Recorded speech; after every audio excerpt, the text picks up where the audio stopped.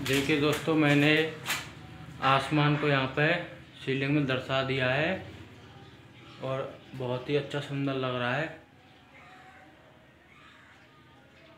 इस काम को हम पाँच से दस हज़ार के बीच में करते हैं।